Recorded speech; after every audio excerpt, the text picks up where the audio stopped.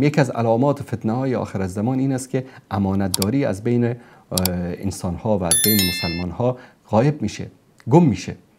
مردم یاد می‌کنن که والله یک زمانی بود یک انسان امانتداری در فلان شهر زندگی می‌کرد.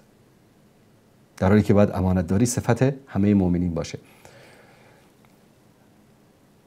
طوری که در حدیثی که ذکر کردم برای شما قبض العلم و ظهور جهل از بین رفتن علم و ظاهر شدن جهل و نادانی.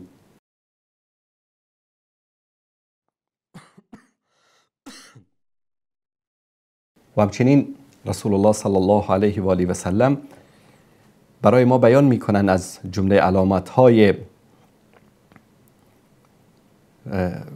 فتنه آخر زمان چی است زیاد شدن پلیس. پلیس زیاد میشه در آخر زمان. و کسانی که حاشیه ظالمین هستند طرفداران ظالمین هستند ظالمین و ستمگران ببینید طرفدارانشون زیاد میشن در بین انسان ها در مورد هر کدوم اینها ده ها احادیث و روایات از رسول الله صلی الله علیه و سلم شده. یکی از علامات قیامت و فتنه های آخر زمان انتشار زنا هست. در صحیحین از انس رضی الله تعالی عنه روایت است که رسول الله صلی الله علیه و سلم فرمودن ان من اشراط الساعه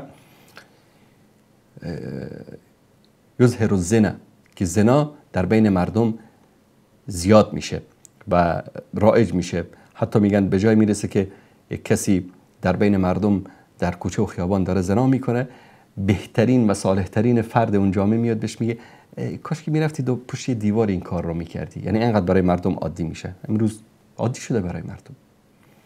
انتشار ربا. امروز به اشکال مختلف. سود می‌خورن و چی هست؟ والا سود بانکی است نمی‌دونم نیاز است فلان است فلان عالم فتوا داده. رسول الله صلی الله علیه و سلم در حدیث صحیح که ابن مسعود روایت می‌کنه که بین یده الساعه یظهر الربا. در از فتنه های آخر زمان این است که چی میشه؟ ربا در بین مردم زیاد میشه. و ظهور موسیقی و حلال دانستنش یکی از علامت ها و فتنه های آخر زمان است که رسول الله صلی الله علیه و سلم بیان می‌کنه. در این دعوتگران رو می‌بینید که بله موسیقی حلال است یک خواننده بیارید که براتون بخوانه برقصه. و این از فتنه های آخر زمان است از نشانه های قیامت است از سهل سعد روایت است که رسول الله صلی الله علیه و سلم فرمودن که سیکون فی آخر الزمان خصف و قصف و مسخ.